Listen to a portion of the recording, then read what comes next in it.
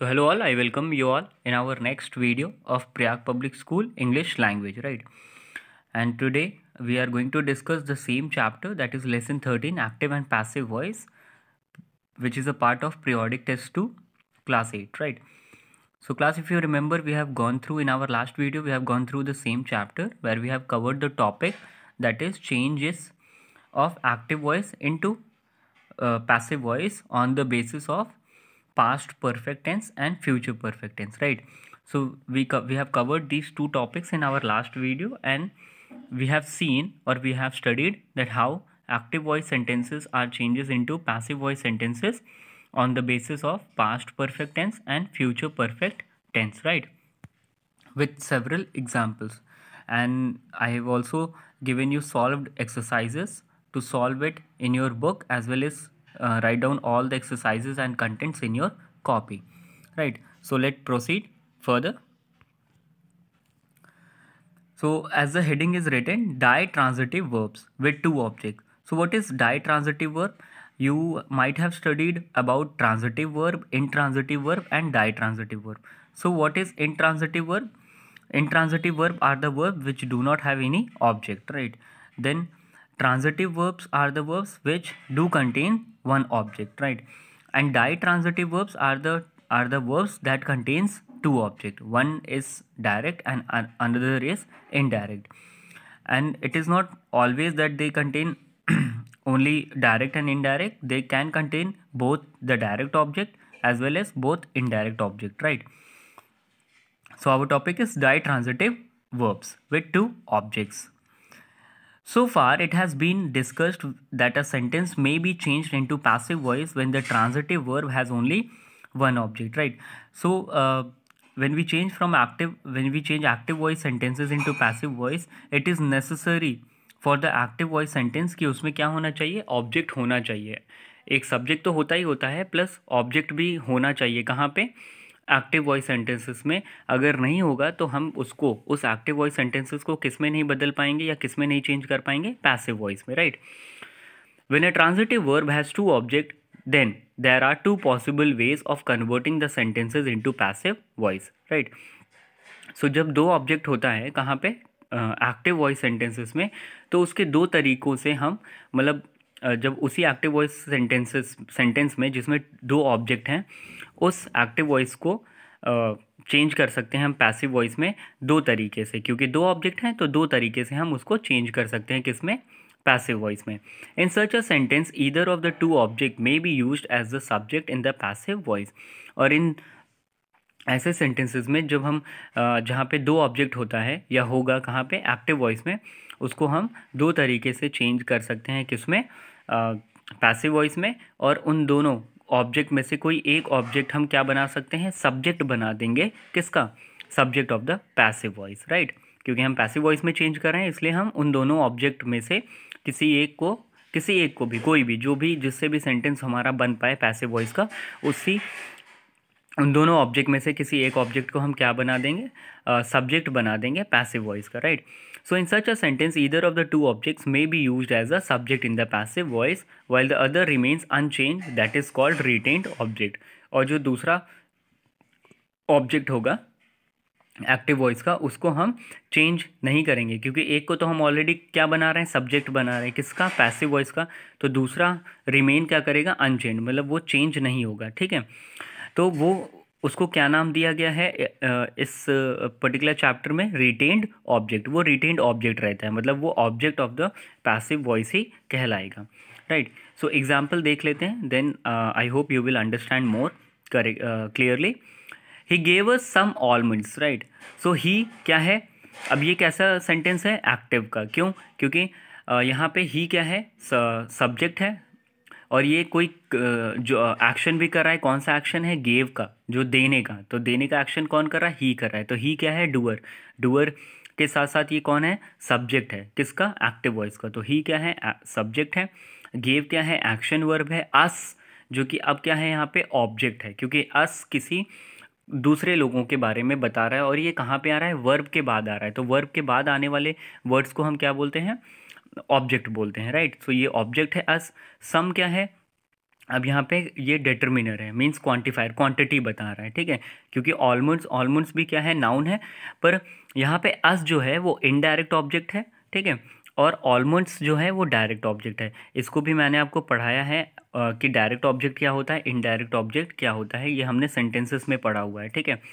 So direct object कैसे पता करेंगे? डायरेक्ट ऑब्जेक्ट वो होता है जब आप क्वेश्चन करो कि वॉट या वॉट से क्वेश्चन करोगे तो जो भी नाउन आएगा, ठीक है वर्ब के बाद वर्ब के साथ साथ वो, अगर वॉट से क्वेश्चन करोगे मतलब सेंटेंस लिखा हुआ है जैसे ये तो अगर वर्ब के साथ वर्ब वर्ब इसमें क्या है गेव है तो इसके साथ अगर हम वॉट से वॉट लगा के क्वेश्चन पूछेंगे तो हमें जो भी नाउन मिलेगा, वो किसके लिए, वो क्या वो क्या कहलाएगा, वो डायरेक्ट ऑब्जेक्ट कहलाएगा, और फॉर फॉर लगा के या होम लगा के ठीक है ये लगा के अगर हम एक्शन के साथ साथ साथ क्वेश्चन करेंगे तो तब जो नाउन मिलेगा वो हमारा क्या होगा? इनडायरेक्ट ऑब्जेक्ट जैसे फॉर एग्जांपल हम यहाँ पे देख लेते हैं अगर हम वॉट लगा के बो, बोलें तो क्या आएगा? Like for example what was given तो दिया गया क्या? ऑलमंड्स दिया गया या सम ऑलमंड्स तो सम ऑलमंड्स क्या हो जाएँगे? ये हो जाएगा direct object to whom it was given अब देखो होम आया? या for whom it was given या for whom it was taken या to whom it was given तो हुम लग हुम आ रहा है या फॉर आ रहा है तो इसका मतलब यहाँ पे क्या आएगा? किसको दिया गया या किसके लिए आ, लिया गया? फॉर मतलब अस के लिए। तो अस क्या है यहाँ पे? ये इनडायरेक्ट ऑब्जेक्ट हो गया। तो इस तरीके से हम डिफ्रेंशिएट करते हैं डायरेक्ट और इनडायरेक्ट ऑब्जेक्ट में। फिर से आ, हम एक बार यहाँ वापस डिस्कस करते हैं। तो ही क्या है? ये है सब्जेक्ट ठीक है? Subject of the active voice gave क्या है? एक्शन वर्ब है। अस क्या है? ऑब्जेक्ट है। और ये कैसा ऑब्जेक्ट है? ये इनडायरेक्ट ऑब्जेक्ट है। सम ऑलमंड्स सम ऑलमंड्स पूरा, अगर देखें तो ये क्या है? ये है डायरेक्ट ऑब्जेक्ट राइट तो आप किसी को भी हम इनमें से, क्योंकि हमारे पास अब दो ऑब्जेक्ट हैं, कौन सा? अस भी है और सम ऑलमंड्स भी हैं। तो हम इन दोनों में से किसी दो, इन दोनों में से किसी एक ऑब्जेक्ट को हम क्या बना देंगे? सब्जेक्ट बना देंगे किसका? पैसिव वॉइस का, और दूसरा जो सब्जेक्ट होता दूसरा जो ऑब्जेक्ट होगा वो रिमेन करेगा अनचेंज और ही कहाँ चला जाएगा? ही चला जाएगा बाई के बाई प्लस एजेंट जो कि क्या बनेगा? Object of the passive voice so let proceed further class in this sentence some almonds in the is the direct object and us in the sorry us is the indirect object जैसे अभी मैंने बताया कि इसमें सम almonds क्या है? Direct object है और अस जो है वो इनडायरेक्ट ऑब्जेक्ट है. When it is converted into passive voice either of the two object can be used as a subject और जब हम इसे कन्वर्ट करेंगे इस एक्टिव वॉइस सेंटेंस को पैसिव वॉइस में तो इन दोनों में से कोई एक ऑब्जेक्ट हम क्या ले लेंगे? As a subject of the passive voice देखते हैं एग्ज़ाम्पल दो तरीके से बना के रखा हुआ है। ए वाला देखते हैं ए वाले में क्या लिखा है? Some almonds were given to us so some almonds some almonds यहाँ पे इन्होंने ऑब्जेक्ट ले लिया। uh, जो ऑलमंड्स सम ऑलमंड्स ऑब्जेक्ट था अब इस अब इसी सम सम ऑलमंड्स को क्या बना दिया इन्होंने? सब्जेक्ट बना दिया। Subject of the passive voice आप ब्रैकेट में सेंटेंस के सामने देख सकते हैं क्या लिखा हुआ है? पैसिव तो इसका मतलब है ये पैसिव स्ट्रक्चर है सेंटेंस का। तो सम ऑलमंड्स वर आया, क्योंकि ऑलमंड्स लिखा हुआ है। और ये बात कहाँ की हो रही है? अगर आप सेंटेंस में जाके देखेंगे तो गेव नहीं ही गेव गेव लिखा हुआ था तो गेव क्या था? Second form of the verb था तो इसलिए हमें पता चल गया कि कहाँ की बात हो रही है? पास्ट तो सम ऑलमंड्स वर अब ऑलमंड्स था मतलब प्लूरल सब्जेक्ट है तो प्लूरल वर्ब भी लगेगा। तो प्लूरल वर्ब हमने क्या लगाया? वर गिवन क्या है? आपको पता है सब पैसिव वॉइस में कौन सा एक्शन वर्ब किस फॉर्म में लगता है? Third form of the verb लगता है तो गिवन आ गया। टू अस राइट सो अस क्या आ गया? वहाँ पे जो हमारा रिटेन्ड ऑब्जेक्ट है, ये अस आपको याद होगा रिटेन्ड ऑब्जेक्ट है ना, जो कि रिटेन्ड रिटे मतलब अनचेंज रहेगा। तो इसको चेंज हमने नहीं किया, इसलिए अस आ गया। ठीक है? तो were given to us by him आप चाहे तो ओमिट भी कर सकते हैं और चाहे तो क्योंकि यहाँ पे यूज़ नहीं हुआ है। बाई प्लस एजेंट जो रूल होता है पैसिव वॉइस में, वो यहाँ पे चेंज नहीं मतलब लगाया नहीं गया है। पर आप चाहें तो लगा सकते हैं कि ये तब ये सेंटेंस कैसे हो जाएगा? Some almonds were given to us by him तो ही का ही जो है वहाँ पे सब्जेक्टिव केस हुआ है, लिखा हुआ है एक्टिव वॉइस सेंटेंस में। और जब पैसिव वॉइस में तो उसका ऑब्जेक्टिव केस आ जाएगा। और ऑब्जेक्टिव केस क्या होगा? हिम राइट अब इसी सेंटेंस को दूसरी तरीके से लिखा हुआ है we were given some almonds by him यहाँ भी बाय हिम आप जोड़ सकते हैं, हालाँकि लिखा नहीं है तो ये भी दूसरा तरीका है पैसिव वॉइस बनाने का। अब वी कहाँ से आया? देखो अस जो लिखा हुआ है एक्टिव वॉइस सेंटेंस में भी अस लिखा हुआ है और ऊपर वाले सेंटेंस में भी आप एग्ज़ाम्पल ए में देख सकते हो लास्ट में क्या लिखा है? अस तो अस जो है ये subjective case sorry objective case है। इसी का अगर हम अस का ऑब्जेक्ट सब्जेक्टिव केस दे, देखेंगे तो सब्जेक्टिव केस अस का क्या होता है? वी होता है राइट तो इसीलिए इन्होंने क्या ले लिया उसी अस का जो अस है जो अस यू एस अस लिखा हुआ है वो क्या है? ऑब्जेक्टिव केस है ठीक है? तो उसी का हमने क्या बना दिया? सब्जेक्टिव केस क्योंकि हमें सब्जेक्ट के बारे में अब लिख के बात करना है तो क्या आ गया? वी आ गया। सो वी वर गिवेन अब वी क्योंकि प्लूरल है तो प्लूरल अगर प्लूरल सब्जेक्ट यूज़ हुआ है तो प्लूरल वर भी यूज़ होगा तो we were given some almonds by him ये हो जाएगा। राइट सो सम ऑलमंड्स अब देख लो, अब सेकेंड वाले में, जैसे पहले वाले में अस जो कि ऑब्जेक्ट था रिमेन अनचेंज्ड था, इसी तरह सेकेंड बी वाले एग्ज़ाम्पल में सम ऑलमंड्स ऐसा ऑब्जेक्ट है, जो कि रिमेन अनचेंज कर रहा है। क्योंकि पहले वाले में सम ऑलमंड्स गया है सब्जेक्ट बना है, और दूसरे वाले में वी बन गया। मतलब अस जो है वी वी के तरीके से बी के रूप में यूज़ हुआ है कहाँ पे? As a subject of the passive voice right तो नीचे लिखा हुआ है the form use in sentence sentence A is usually preferred और जो सेंटेंस ए में हमने यूज़ किया है मतलब जिस तरीके से हमने सेंटेंस ए को बनाया है पैसिव वॉइस वाला, वो पैसिव वॉइस सेंटेंसेस हम नॉर्मली यूज़ करते हैं डे टू डे कॉन्वर्सेशन या एक्टिविटी में, ठीक है? तो this is that this is how we how we are going to और how we will be changing the ditransitive verb of active voice into passive voice right? So let's proceed further class. Conversion of interrogative sentences into passive voice अब interrogative sentences आपको पता होगा क्या होते हैं? The question which the sentences which ask question जो question पूछते हैं राइट right? सो so, उनको इंट्रोगेटिव सेंटेंसेज कहते हैं। अब उन्हीं इंट्रोगेटिव सेंटेंसेस को हम किसमें चेंज कर रहे हैं? पैसिव वॉइस में। एक्टिव वॉइस लिखा रहेगा, हमें उनको उनको किसमें चेंज करना है? पैसिव वॉइस में। देखते हैं। Read the following sentences A do they watch the match every month ये क्या है? एक्टिव वॉइस है और क्वेश्चन मार्क लगा हुआ है क्योंकि क्वेश्चन पूछ रहा है right so do they watch the match every month so do क्या हो गया? क्वेश्चन है, क्योंकि ये कहाँ की बात कर रहा है? पहली बात तो क्वेश्चन है डू डू जो है आप देख लो, ये क्वेश्चन भी क्वेश्चन तो है, पर किसके हेल्प से बना हुआ है? ये ऑक्सिलरी वर्ब से बना हुआ है। क्योंकि इंट्रोगेटिव सेंटेंसेस जो होते हैं, वो दो तरीके से बनते हैं। पहले ऑक्सिलरी वर्ब से, जैसे for example do did does he sorry have had has इससे बनते हैं।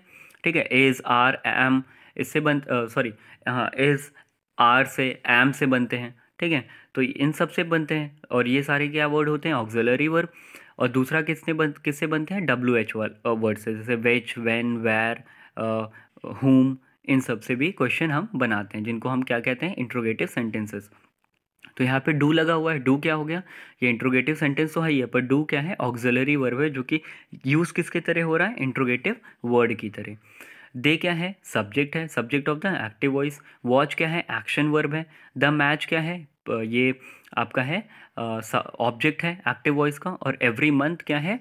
It is again a part of a sentence right last में क्या दिया हुआ है? क्वेश्चन मार्क दिया हुआ है। तो ये एक्टिव वॉइस सेंटेंस है। इसी को हम चेंज करेंगे किसमें? पैसिव वॉइस में। तो इंट्रोगेटिव सेंटेंस अब चेंज हो रहा है किसमें? इंट्रोगेटिव सेंटेंस तो है, पर किस फॉर्म में है? एक्टिव वॉइस फॉर्म में है। अब इसे हम चेंज करेंगे पैसिव वॉइस फॉर्म तो डू है। डू इसका मतलब है डू कहाँ की बात कर रहा है? डू बात कर रहा है। अगर आप देखोगे डू डज डिड डिड क्या है? पास्ट की। डू क्या है? डू जो हम लगाते हैं, डू लगाते हैं प्रेजेंट के लिए, पर किसके साथ यूज़ होता है? प्लूरल फॉर्म के साथ, ठीक है? या प्लूरल सब्जेक्ट के साथ। और डज होता है सिंगुलर सब्जेक्ट के साथ, जो डू के डू के तरह ही प्रेजेंट फॉर्म को प्रेजेंट टेंस को रिप्रेजेंट करता है। तो यहाँ पे डू लगा था दे के साथ, क्योंकि दे हमारा क्या है? प्लूरल सब्जेक्ट तो हमें लगा, लगाना पड़ा क्या? डू डू लगाना पड़ा, क्योंकि वो भी plural auxiliary verb use, as an auxiliary verb use हो रहा है, डू, ठीक है? और या आप इंट्रोगेटिव वर्ड भी मान सकते हो। तो हमें जब द मैच अब द मैच क्या है हमारा? ये हमारा ऑब्जेक्ट है जो कि क्या बनेगा? सब्जेक्ट बनेगा किसका? पैसिव वॉइस का। और द मैच अगर आप देखोगे तो क्या है? सिंगुलर सब्जेक्ट है। तो इसीलिए हमने इज़ लगाया, ठीक है? तो इज़ यहाँ पे दो तरीके से लगा हुआ है। पहले द मैच के कारण, क्योंकि मैच क्या है? सिंगुलर सब्जेक्ट तो इसीलिए हमने सिंगुलर सब्जेक्ट है। तो हमारा सिंगुलर वर्ब लगा क्या? इज़ और दूसरी चीज़ डू कहाँ को क्या रिप्रेजेंट करता है टेंस टेंस में? प्रेजेंट टेंस में इसीलिए इस भी हमारा किसको प्रेजेंट इस भी हमें लिखना इसलिए ज़रूरी है क्योंकि ये किसकी, किसको प्रेजेंट करेगा? मतलब किसको दिखाएगा? प्रेजेंट टेंस को। So is the match watched अब वॉच्ड क्या है? Third form of the word then every month question mark तो ये हमारा एक्टिव वॉइस चेंज हो गया किसमें पैसिव वॉइस में। So do they watch the match every month is the match watched every month by them ठीक है, ये हो सकता है या is is the match watch watched by them every month अब दे का जो दे अगर आप यहाँ पे देखो फिर से, यहाँ पे बाई प्लस एजेंट नहीं लिखा हुआ है पैसिव वॉइस में अगर बात करें तो। पर आप लिख सकते हैं या हम लिख सकते हैं कि is the match watched by them every month या is the match watched every month by them तो बाई प्लस देम कैसे आ जाएगा? दे आपने देखा? तो दे क्या है? सब्जेक्टिव केस लिखा हुआ है। उसी का ऑब्जेक्टिव केस क्या होता है? देम तो दे का देम हो जाएगा। जैसे अभी अस का वी हो गया था ना तो वैसे दे का क्या आ जाएगा? देम हो जाएगा। Right so let proceed further class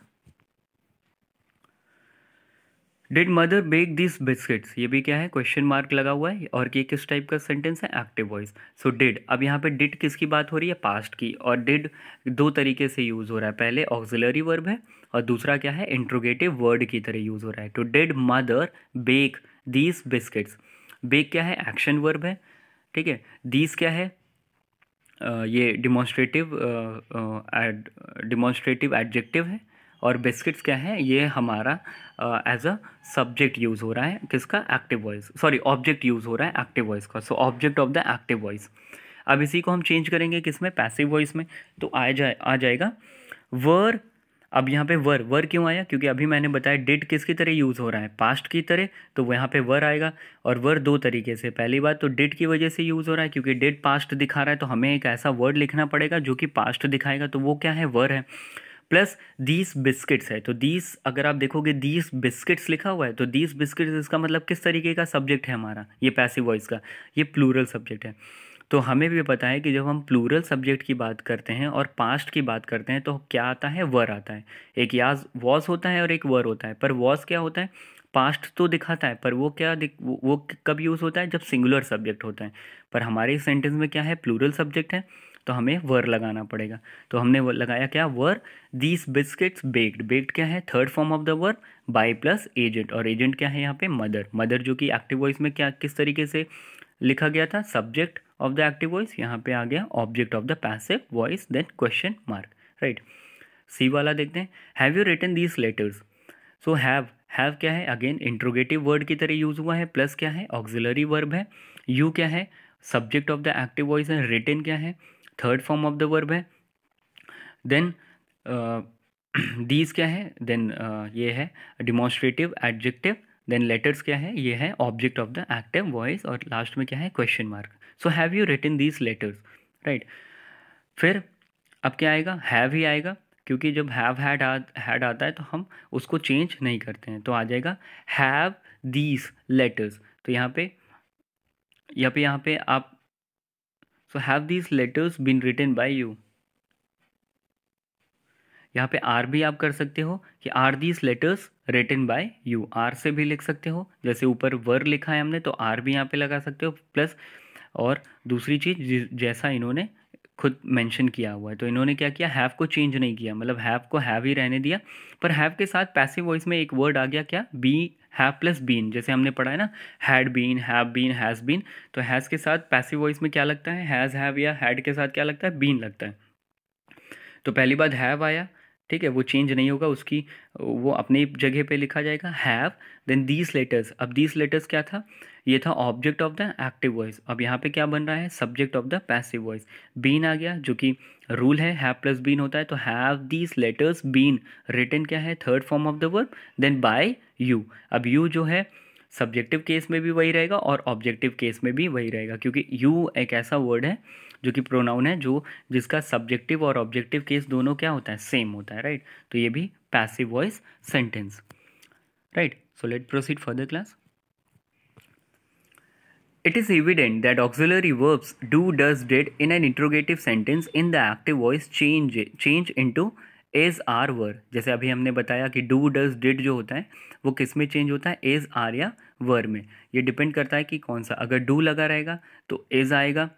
ठीक है, या आर आएगा, पर डिपेंड करता है कि डू के साथ साथ क्या लगा हुआ है, क्योंकि डू और डज ये ऐसे ऑक्सिलरी वर्ब हैं और इंट्रोगेटिव वर्ड की तरह भी यूज़ होते हैं, जो कि किस, क्या, ये दोनों क्या दिखाते हैं? प्रेजेंट टेंस दिखाते हैं। और डिड इनमें से क्या दिखाता है? पास्ट टेंस तो अगर डिड यूज़ होगा तो वॉज़ या वर आएगा, और डू डज होगा तो इज़ और आर आएगा डिपेंडिंग अपॉन द सिंगुलर और plural subject of the passive voice in the passive voice structure auxiliary verbs like have has in the active voice in interrogative sentences change to have been plus past participle of the verb.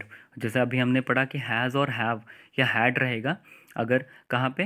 Active voice में जो कि interrogative as an interrogative word लिखा रहेगा तो कि, किसमें change होगा? जब हम पैसिव वॉइस में करेंगे तो हैज़ प्लस बीन या हैव प्लस बीन या हैड प्लस बीन हो जाएगा और उसके साथ फॉलो कौन करेगा? Third form of the verb modals like can must should do not change in the active और पैसिव वॉइस और अगर मॉडल्स लिखा रहेगा एक्टिव वॉइस सेंटेंसेस में तो वो पैसिव वॉइस के दौरान चेंज नहीं होगा जबकि वही लिखा जाएगा ठीक है When a question begins with who, what, which, and it is changed from active to passive voice, the question word does not change in the beginning and a preposition usually by is placed towards the end of the question, right?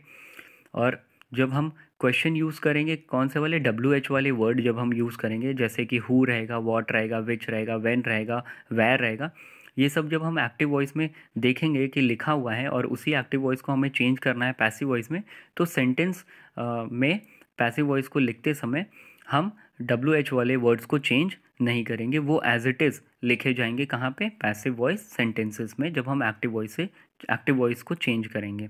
ठीक है example देख लेते हैं। Which road have the protesters block so which road have the protesters block तो which क्या है? Interrogative word है। Road क्या है? सब्जेक्ट है। एक्टिव वॉइस का। हैव क्या है? uh, ये है आपका ऑक्सिलरी वर्ब है। द प्रोटेस्टर्स क्या है? ये है आपका object of the active voice then blocked क्या है? ये है एक्शन वर्ब और लास्ट में क्वेश्चन मार्क अब इसी को चेंज करेंगे तो विच का विच ही आ गया। देखो आप देख सकते हो विच का क्या आ गया पैसिव वॉइस में। विच का विच एज इट इज़ लिखा जाएगा, वो चेंज एकदम नहीं होगा, कुछ भी नहीं होगा। जो वर्ड लिखा रहेगा पहले इंट्रोगेटिव वर्ड के तरीके से या के के हिसाब से, ठीक है, जो भी डब्ल्यू एच वर्ड लिखा रहेगा, वही पैसिव वॉइस में तुरंत के तुरंत हम एज इट इज़ लिख देंगे। तो विच रोड अब रोड आ गया। वहाँ पे प्रोटेस्टर्स की बात आ रही थी तो हैव लगा था। यहाँ पे रोड की बात कर रहे हैं, क्योंकि यहाँ पे आप प्रोटेस्टर्स की बात नहीं कर रहे हैं, क्योंकि प्रोटेस्टर्स उस टाइम पे हमारे क्या थे? उस टाइम पे हमारा वो प्रोटेस्टर्स जो था एज अ सब्जेक्ट यूज़ हो रहा था, क्योंकि हम वहाँ पे सब्जेक्ट की बात कर रहे थे, क्योंकि डूअर की बात कर रहे थे। यहाँ पे हमारा सब्जेक्ट क्या है? रोड है। तो विच रोड हैज़ आएगा? ठीक है हैव चेंज हुआ हैज़ में।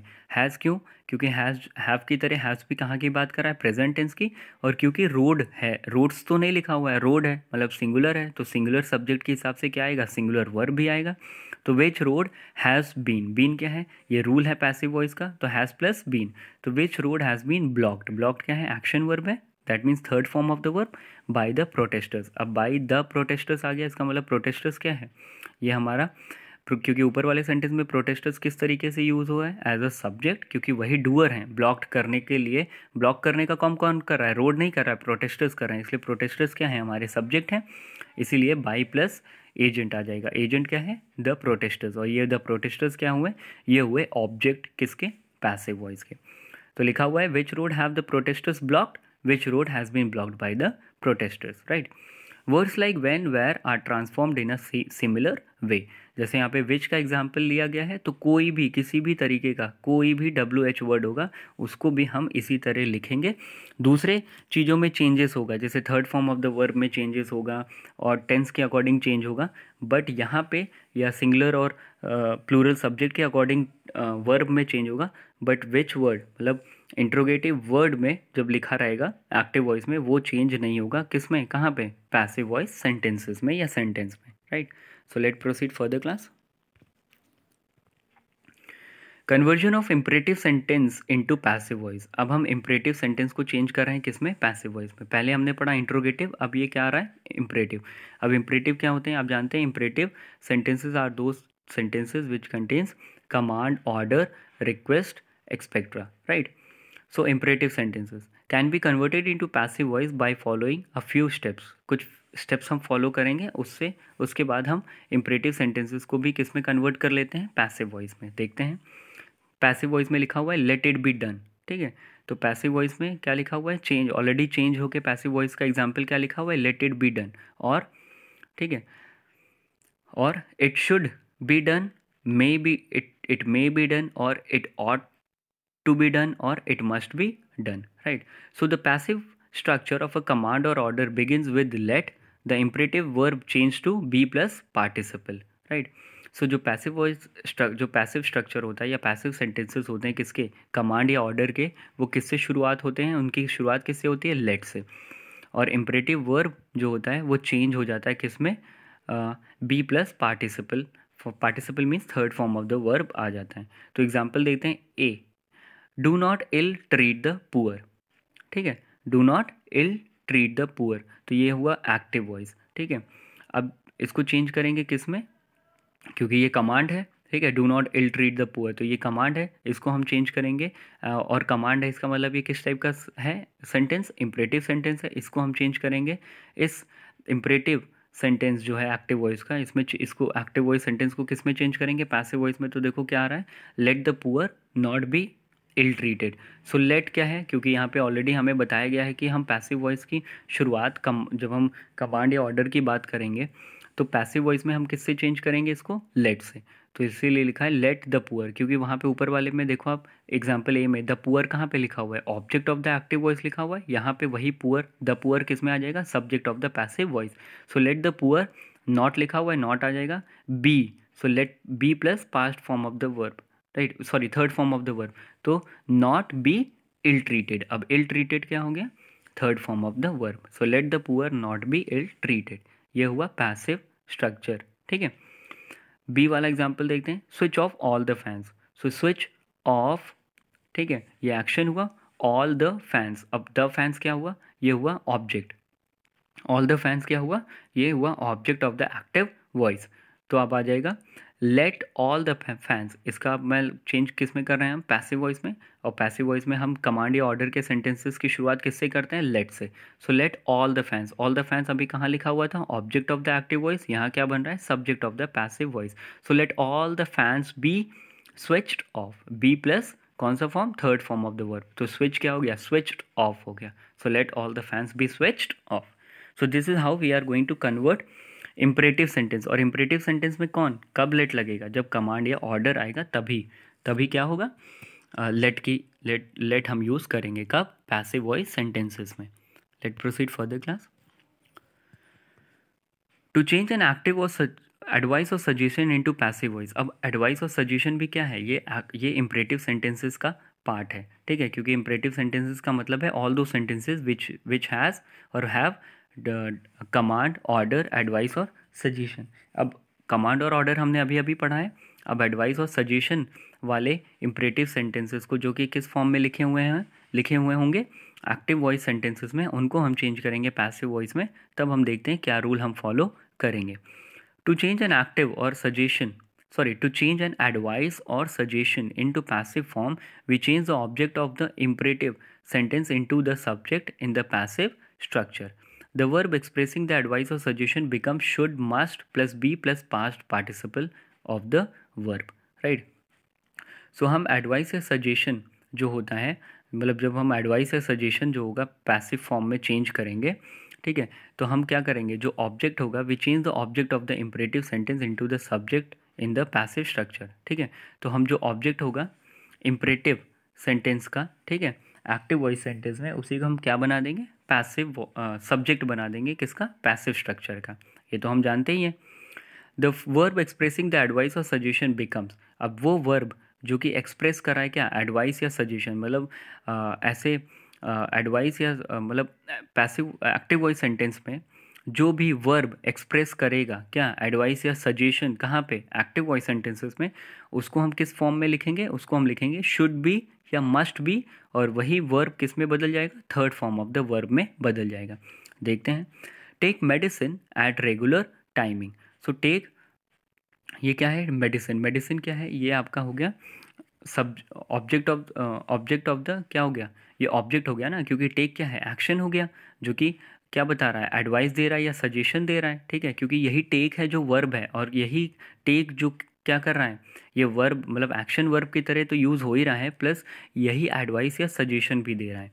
और मेडिसिन क्या है? ये हो गया हमारा यूज़ ये मान लो आप सब object of the active voice at regular timings then rest part of the sentence is there तो ये किस तरीके का सेंटेंस हो गया? एक्टिव वॉइस ठीक है? अब इसको ही चेंज करेंगे किसमें पैसिव वॉइस में। तो जो ऑब्जेक्ट है, क्या बन जाएगा सीधे? पहले, सबसे पहले क्या आ जाएगा? सब्जेक्ट बन जाएगा। तो ऑब्जेक्ट क्या था? ऑब्जेक्ट था मेडिसिन ऑब्जेक्ट किसका था? एक्टिव वॉइस का? वो चेंज हुआ किसमें पैसिव वॉइस में. तो पैसिव वॉइस में क्या बनेगा? मेडिसिन सॉरी पैसिव वॉइस में क्या बनेगा? Subject so subject of the passive voice क्या बना? मेडिसिन बना. So medicine should be taken ये अभी हमने रूल पढ़ा है ना, कि जब एडवाइस जो भी वर्ब एक्टिव वॉइस में एक्सप्रेस कर रहा होगा क्या? एडवाइस या सजेशन वो किस तरीके से फिर पैसिव वॉइस में यूज़ होगा? शुड बी या मस्ट बी और उसको फॉलो कौन करेगा? Past participle of the verb तो medicine should be should be taken अब टेक का क्या हो गया? Taken means third form of the verb at regular timings और उसी, और उसके बाद rest of the rest part of the sentence as it is हम लिख लेंगे. So medicine should be taken at regular timings then be वाला देखो कॉल द पुलिस ठीक है? अब कॉल क्या है? ये वर्ब है.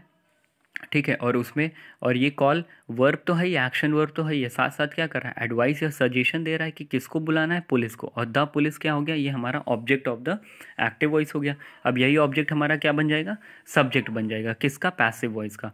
तो the police should be called या मस्ट बी कॉल्ड हो जाएगा। तो मस्ट भी आया या शुड भी आया, जो कि रूल है, और कॉल्ड क्या हो गया? कॉल का कॉल जो कि ऊपर लिखा हुआ है वर्ब वो किसमें चेंज हो गया? कॉल्ड में। Means third form of the verb So let proceed further class. In an imperative sentence, sentence when the request begin with please or kind, kindly, sometimes the phrase you are requested to is placed before the imperative verb. In the in, negative sentence you are requested not to. है तो in an imperative sentence मतलब imperative sentences में जब हम request uh, की शुरुआत करते हैं मतलब रिक्वेस्ट वाले सेंटेंसेस की शुरुआत किससे करेंगे? प्लीज़ या काइंडली से, ठीक है? तो कुछ कभी कभी एक फ्रेज़ भी हम, या कभी कभार फ्रेज़ भी हम यूज़ करते हैं। और कौन सा फ्रेज़ रहता है? You are requested to is placed before the imperative verb उसी इम्परेटिव वर्ब के पहले पहले क्या लग जाता है? यू आर रिक्वेस्टेड टू ये छोटा सा फ्रेज़ हम लगाते हैं कब? जब हम इम्परेटिव सेंटेंसेस को और इम्परेटिव सेंटेंसेस कौन सा वाले? एक्टिव वॉइस इम्परेटिव सेंटेंसेस को चेंज करते हैं पैसिव वॉइस इम्परेटिव सेंटेंस में। तो पैसिव वॉइस इम्परेटिव सेंटेंस में हम क्या लगाते हैं? यू आर रिक्वेस्टेड टू या नेगेटिव और अगर उसका नेगेटिव बोलना है तो क्या लगाते हैं? You are requested not to ठीक है?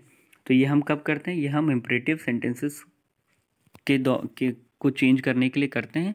पर वो वही और ख़ासकर वो इम्परेटिव सेंटेंस जो कि एक्टिव वॉइस में ये सारे वर्ड लिखे हैं। जैसे कि प्लीज़ या काइंडली जो कि कहाँ लिखा होगा? एक्टिव वॉइस में, उसी को हम चेंज करेंगे किसमें? पैसिव वॉइस में। तो हम ये दोनों फ्रेज में को, में से एक को लिखना पड़ेगा, या हम लिखते हैं। Let proceed further class not to plus verb is use और साथ में कौन सा वर्ब यूज़ होता वर्ब यूज़ होता है? Base form of the verb, क्योंकि टू के साथ कौन सा वर्ब यूज़ होगा? Base form. For sentences asking permission, the words kindly please are place between may and be, right? और वो सेंटेंसेस जहाँ पे परमिशन मांगते हुए वर्ड का यूज़ होता है, जैसे काइंडली या प्लीज़ का, वो किसके बीच में लगाए जाते हैं? मे एंड बी के बीच में। मे एंड बी के बीच में। एग्जाम्पल्स देख लेते हैं। Please send the invoice at the earliest अब प्लीज़ लगा हुआ है, इसका मतलब है ये इंपरेटिव सेंटेंस है और ये रिक्वेस्ट कर रहा है। ठीक है? So please send the invoice at the earliest ये क्या है? एक्टिव वॉइस है। तो इनवॉइस देखो आप इनवॉइस क्या है? ये इनवॉइस जो है द इनवॉइस खासकर, क्योंकि सेंड क्या है? सेंड तो आपका एक्शन वर्ब हो गया। प्लीज़ क्या है? रिक्वेस्टिंग मोड हो गया। रिक्वेस्टिंग वर्ड हो गया। और द इनवॉइस क्या है? ये आपका ऑब्जेक्ट ऑफ़ द क्या यूज़ हुआ है? एक्टिव वॉइस, उसी को हम बनाएँगे क्या? Subject of the passive voice.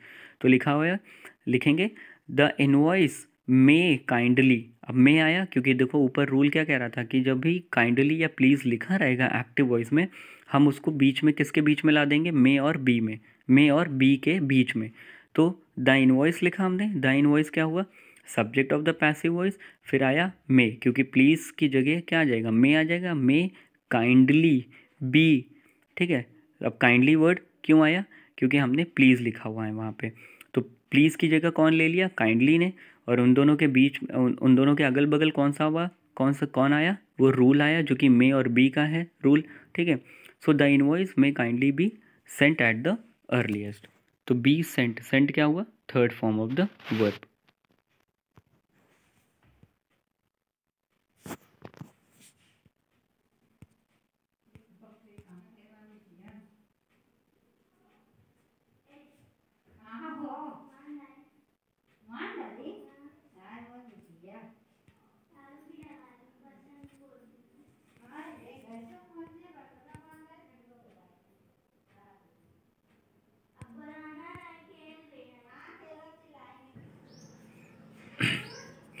please send the invoice at the earliest right तो ये क्या हुआ? ये एक्टिव वॉइस हुआ।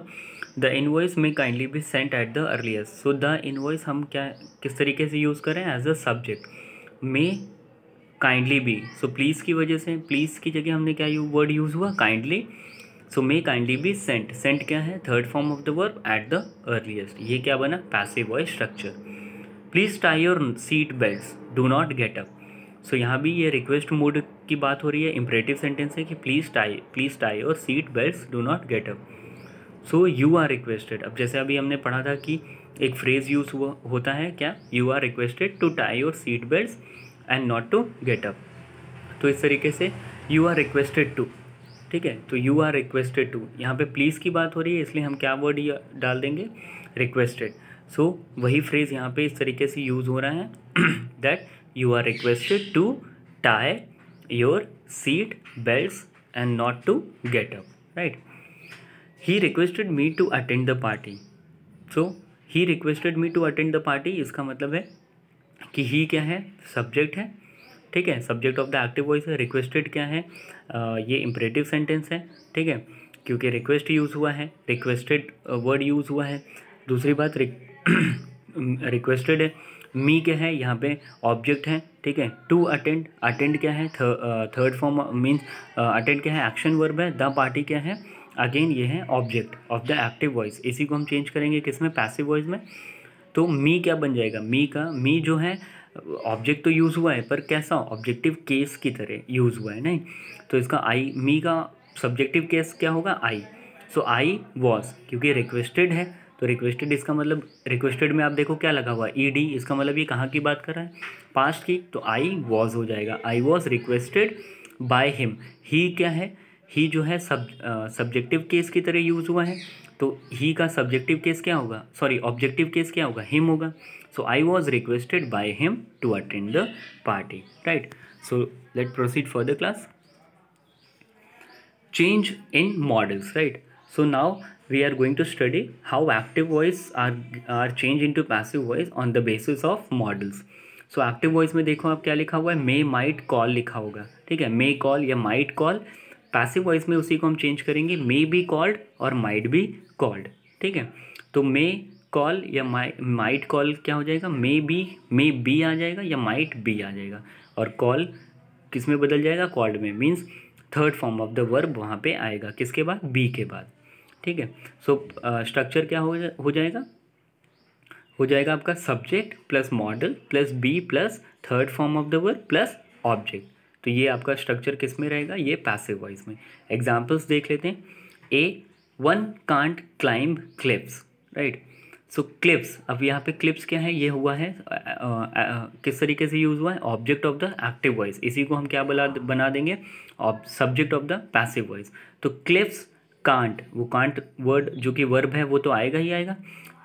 कैनॉट जो जिस, जो कि कैनॉट की तरह यूज़ हो रहा है। तो क्लिप्स कांट या कैनॉट बी बी आ गया, ठीक है? अब ये कैनॉट अगर आप कैनॉट देखोगे तो कैन नॉट इसका मतलब किसकी तरह यूज़ हो रहा है या कांट किसकी तरह हो रहा है? ये मॉडल्स की तरह हो रहा है, क्योंकि कैन आ रहा है और नॉट क्या है? नेगेटिव सेंस बता रहा है तो कैन क्या है? मॉडल्स है।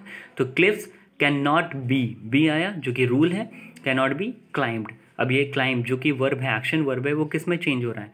ये चेंज हो रहा है आपका third form of the word तो cliffs can not be climbed right be वाला देखते हैं। We may call the watchman ठीक है? तो वी क्या हुआ? ये सब्जेक्ट uh, हुआ किसका? एक्टिव वॉइस का। मे क्या है? मॉडल है। कॉल क्या है? एक्शन वर्ब है। द वॉचमैन क्या है? ऑब्जेक्ट है। किसका? एक्टिव वॉइस का। अब यही ऑब्जेक्ट क्या बनेगा? सब्जेक्ट बनेगा। तो हो जाएगा द वॉचमैन माइट मे का क्या हो जाएगा? माइट हो जाएगा।